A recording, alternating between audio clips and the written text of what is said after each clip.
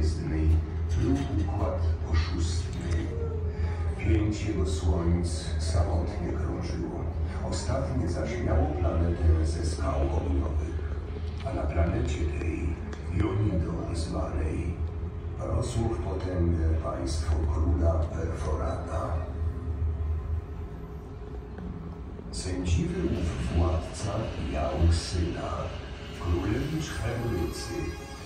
I cnotliwy, o postawie wspaniałej, barach szerokich, stalowych i chodzie tudniącym, a metalicznym. Teraz jednak dziwna odmiana w nim zaszła. I królewicz popadł w melancholię. Robotą przecież nie przystającą. Zmartwiło to króla Beforata, który na następcę tronu oszykował. Postanowił tedy rozmówić się z pierworodnym. Wyjaw mi, synu, cóż cię trapi. Może pomóc zdołam. Och, ojcze, czyś słyszał kiedy o królewnie Krystali, córce króla Panceryka, władcy planety Actynuri? Powiadają, że jej piękno przewyższa blask klejnotów koronnych, a ognie odbijające się od jej lic lustrzanych zaćmiewają umysł i oczy, a kiedy przechodzi, to nawet ze zwyczajnego żelaza sypią się iskry elektryczne. Czyżbyś się... Tak, ojcze.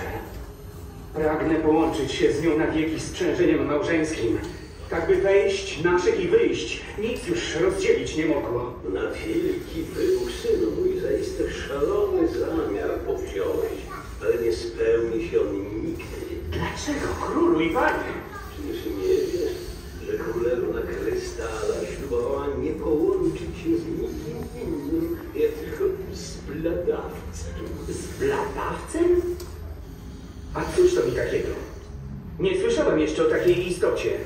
Właśnie twoja niewinność, synu.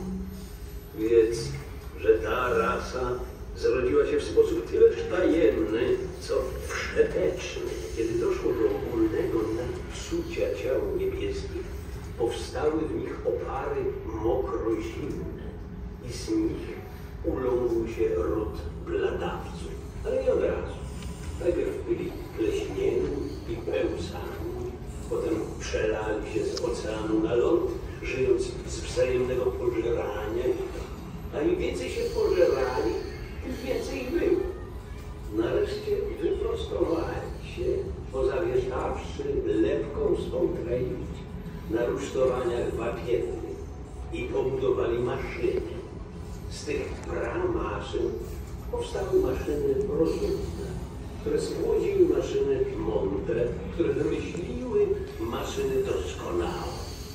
I wreszcie ród bladawców wzbił się na maszynach w niebo, poniewierając szlachetne metale, znęcając się nad słodką elektrycznością i deprawując energię jądrową.